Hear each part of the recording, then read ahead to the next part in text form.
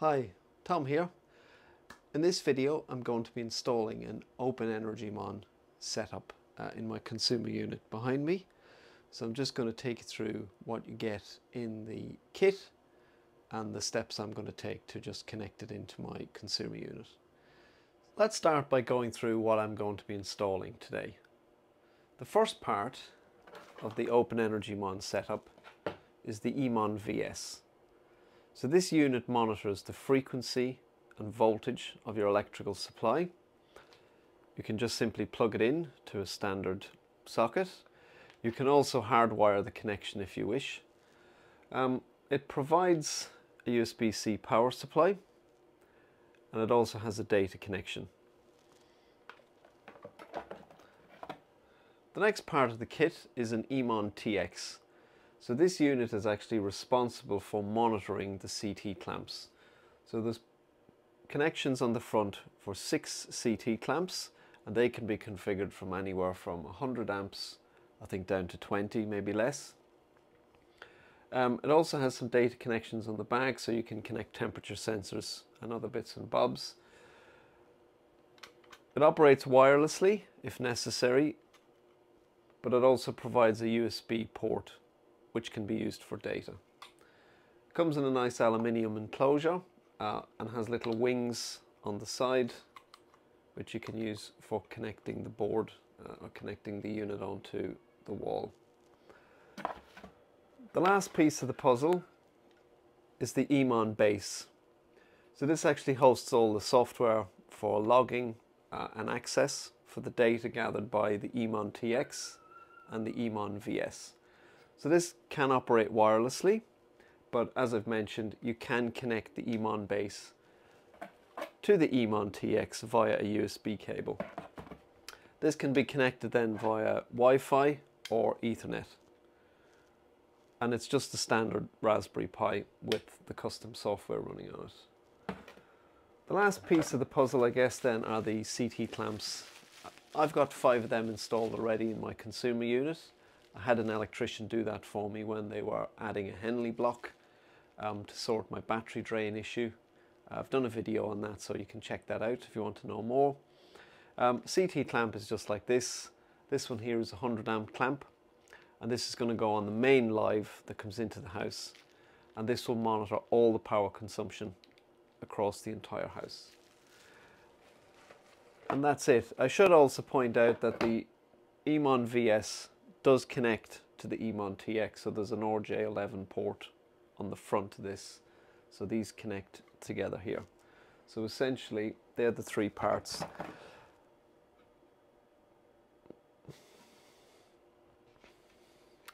I'm going to be mounting those on a piece of uh, plywood. This is a 10 mil plywood. And I'm going to mount the EMON TX, the EMON VS and the EMON base on here and then I'll fix this plywood to the wall. And that should give me a nice clean setup. So this is the piece of ply I'm going to mount the units onto. Starting with the EMON VS, which I'll mount about halfway. Then we'll add the EMON TX. Now they recommend this is mounted vertically to stop any dust or dirt getting into the connectors. So we'll follow that advice. The EMON VS will connect into the EMON TX like so and then I'll be able to connect the six clamps in along here. And lastly we'll put the EMON base around about here. I'm going to mount this horizontally to avoid any dust getting into any of these connectors. Ideally I would have liked to have mounted it this way so the Ethernet port was facing the comms closet but due to the length of the USB-C cable I won't be able to do that. We're also going to be connecting the EMON TX to the EMON base via USB so we can disconnect the antenna and just use a standard USB-C cable and that will actually plug in here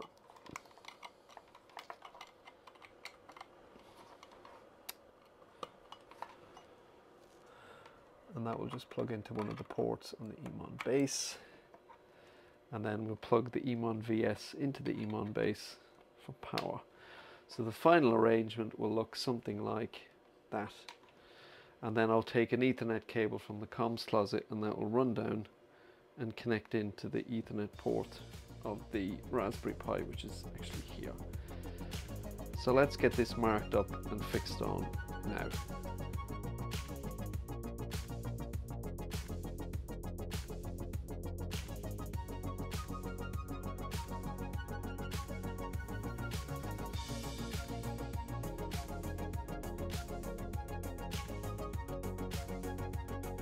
So with the Emon VS, because we can't get through to the connector at the bottom, we have to mount it sort of one side at a time. So we can pop that in and then we can simply bend the cable out of the way. Oh.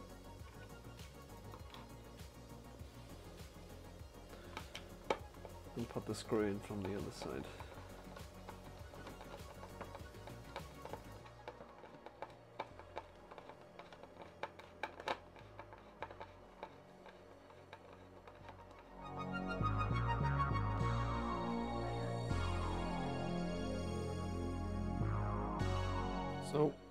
Connected now. And I'm just going to gather up the loose USB cable.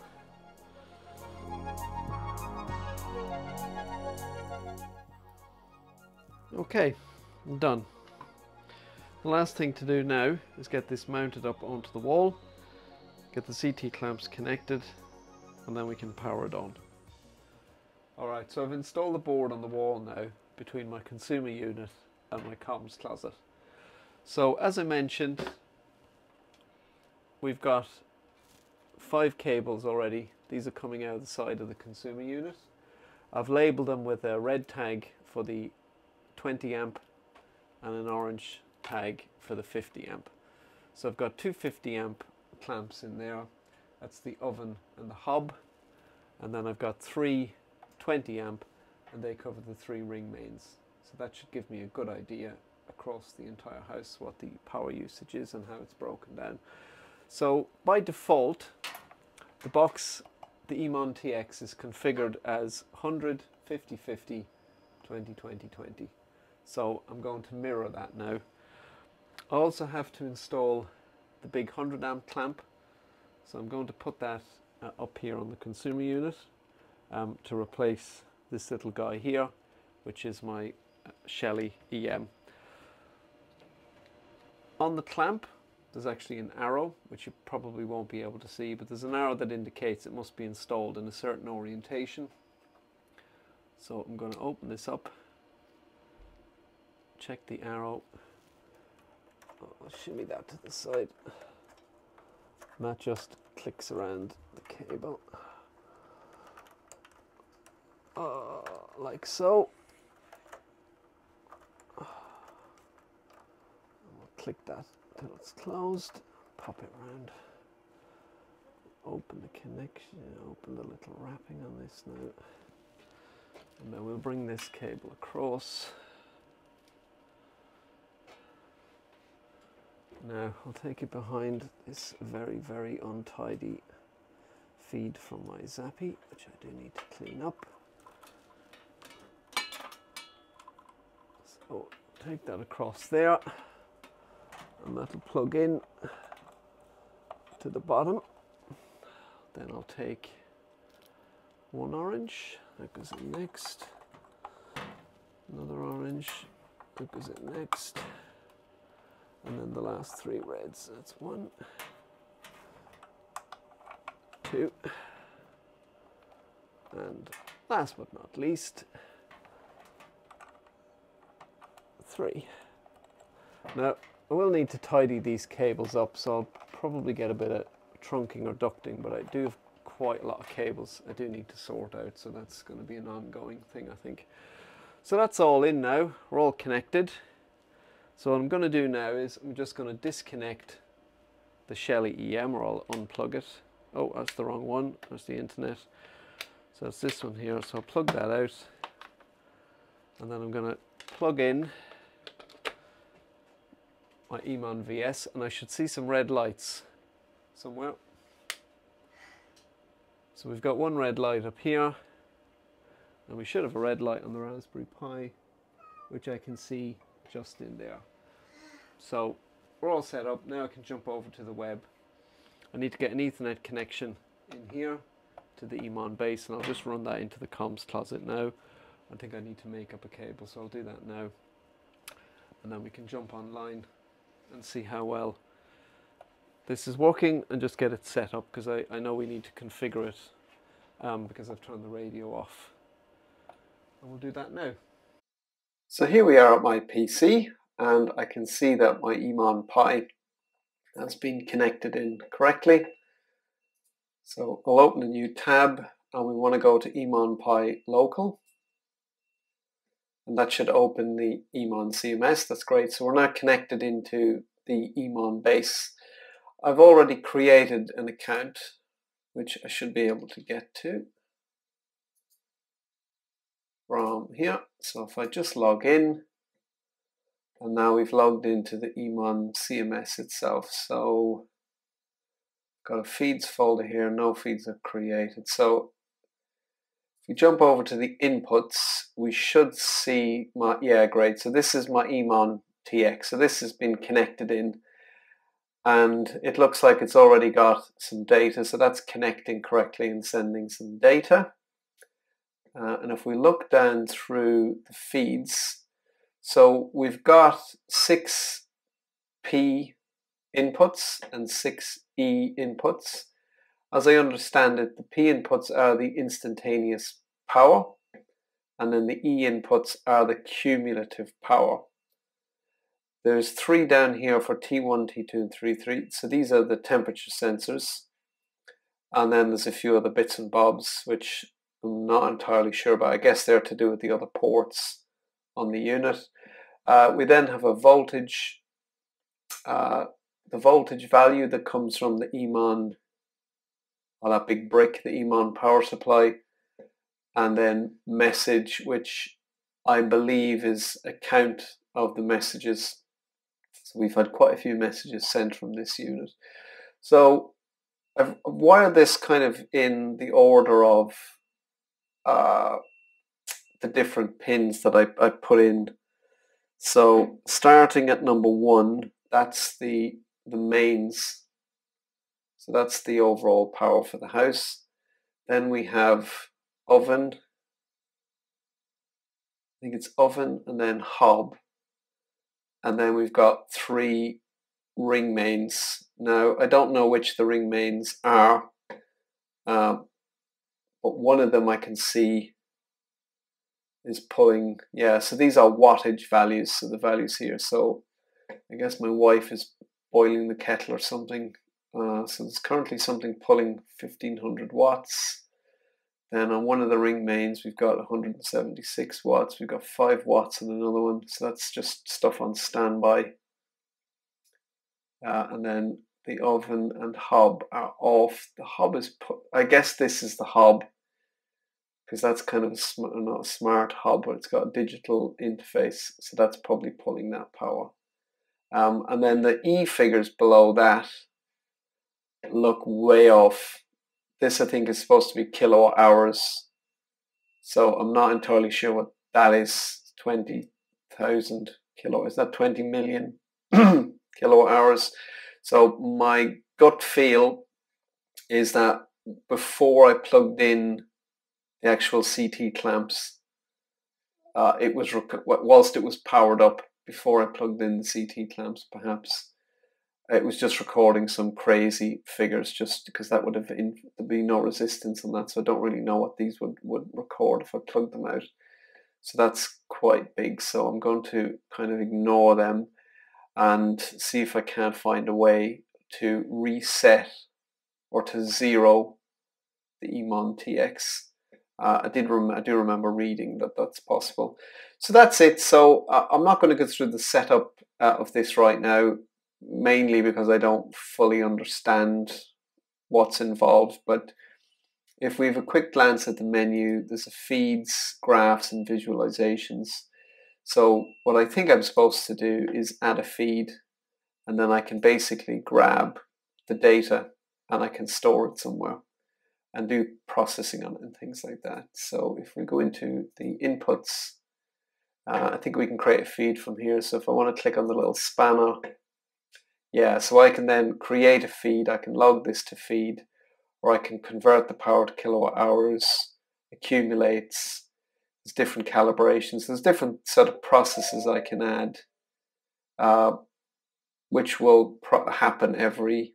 I think it's on like a fixed period. So you've got, yeah. So I can say like every ten seconds, I want to log the power. So if I click that, so then I think, as I understand that, that will now create and it will log the value coming from the Emon TX. And if we jump over to the feeds now, I should have a new feed. And then, yeah, so that produces the graph then. Um, so obviously that's empty at the moment, but that will eventually, I, I suppose, build up as it starts logging the data coming from the Emon TX. All right, that was painless enough. I expected to have to trick around with the uh, USB connections or something like that, but it all seems to be a-okay. Uh, if we have a glance then, if I go back to say here, let's see what the rest of these are. Okay, so this is like an admin panel. So this is giving me the status of, I guess, the various services. Oh yeah, that's giving me RAM, disk, networking, MySQL, and bits and bobs. There's an update panel. Update. Oh, okay, so I must be able to update OS, yeah, firmware, bits and bobs. Okay. Component. These must be all the different bits and bobs again inside the Emon base. There's a serial monitor which is closed. I believe you can use the serial monitor to talk to the Emon TX yeah, so if I wanted to configure this, um, I can. Uh, there's like a log, and then you've got users. Um, what else have we got? Probably Wi-Fi, which doesn't count for us. We can get sync. So I understand that we can basically synchronize all the data, and we can push that up to the cloud rather than saving it locally. We've done that one. That's the update.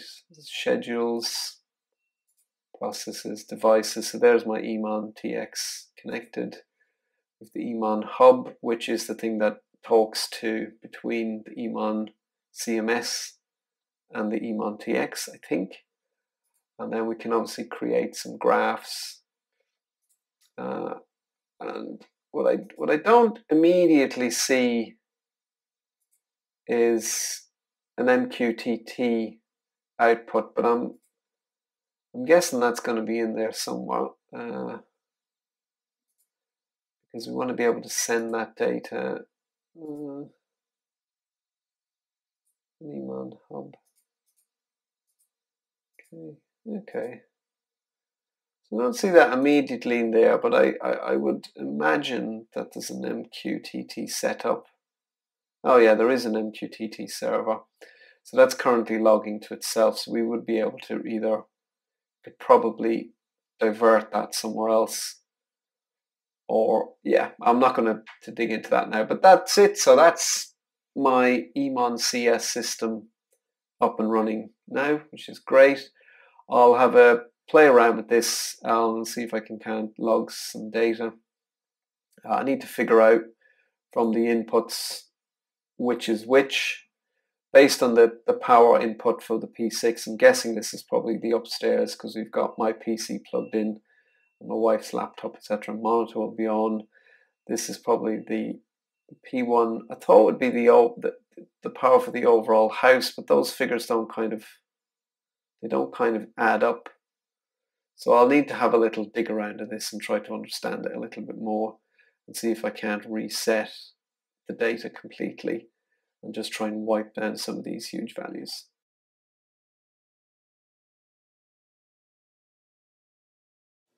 Okay, so after a lot of tinkering,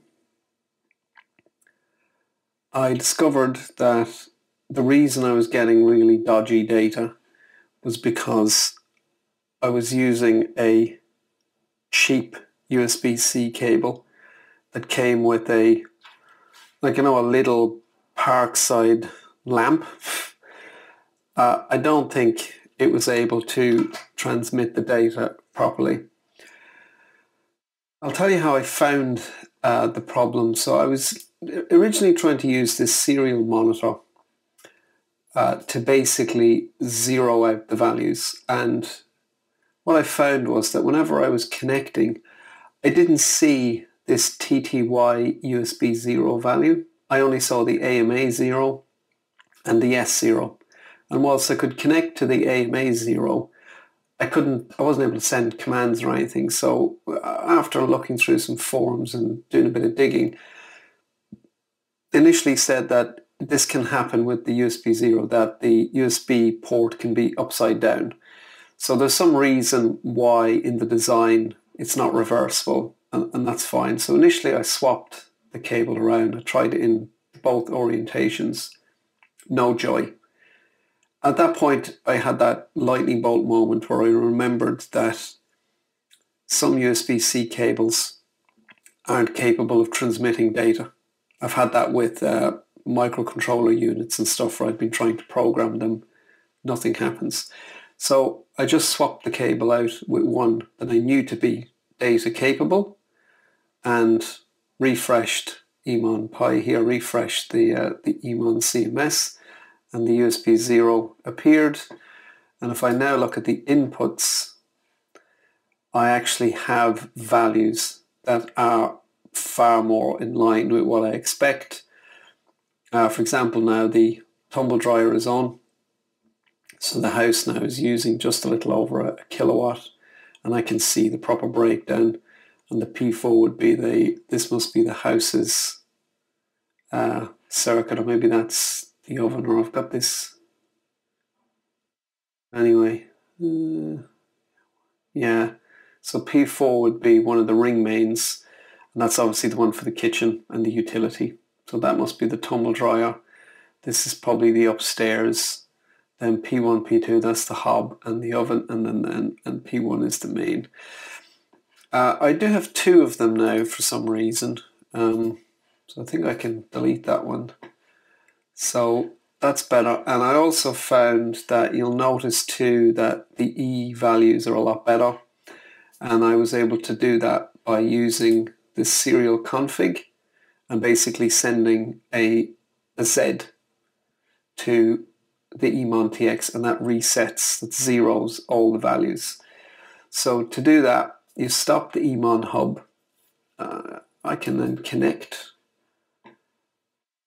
and it also, you'll also notice now this panel populates correctly with the setup of the different clamps. So that's the sizes of the clamps. This is the default and it's got this phase correction built in so you can see that's correctly populated now. And then if I just send a Z, it'll say energy value set to zero. I'll stop the serial, start the Emon hub. We'll jump back into the inputs it does reappear. I need to understand what's going on here, but you'll see now after a few seconds, these should basically go back down. This one probably more so than the rest. As the Emon hub starts itself up and they've effectively now zeroed themselves out. So that's good to know. I'll need to dig into why I'm getting two of these units now. Not entirely sure. Maybe now I need to turn ah Maybe now I need to turn the radio off so it, could potentially be picking one up over the radio. So stop the Emon hub again, start this, and then I think we send W0.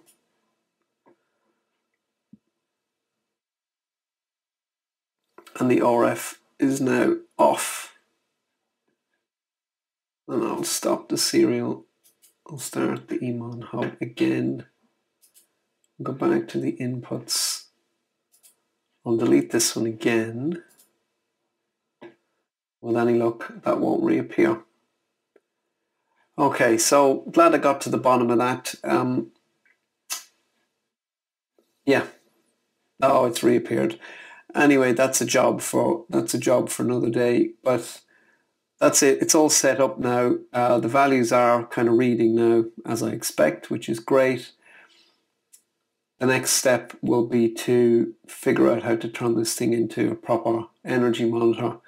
Perhaps get these values feeding into Home Assistant as well. And I'll also need to do some detective work and figure out uh, which of these is which in terms of the oven and the hob, and then which ring main each of four, five, and six points to. But otherwise, looking good. That was USB cables aside, very, very painless. Um, and whilst there's a lot going on, I think I kind of feel like it's relatively straightforward, kind of now that I've played around with it for a few minutes. So that's it for this video. Uh, if you have any questions uh, or you'd like to know more, please do use the comment section.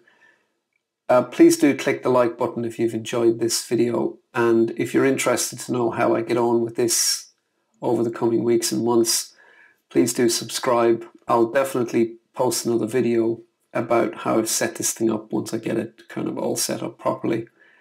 Um, so yeah, I'd appreciate um, a like or a, a, subscribe. That's it for now. Uh, I'm Tom, and thanks for watching.